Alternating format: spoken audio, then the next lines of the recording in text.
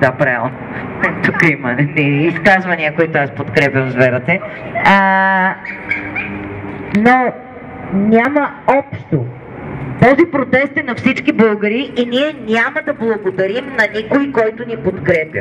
По-скоро, аз съм склонна да отправя упрек към тези, които не са тук, отколкото да благодаря на тези, които са тук. Защото всички трябва да са тук. Половината население на тази държава е жени. От тях най-вероятно едно 80% са майки. Той не е казал, че тези кресливи жени са майки на деца с увреждания точно. Той обиди майките като цяло. Той използва език на омразата като цяло. И въобще това е безумие.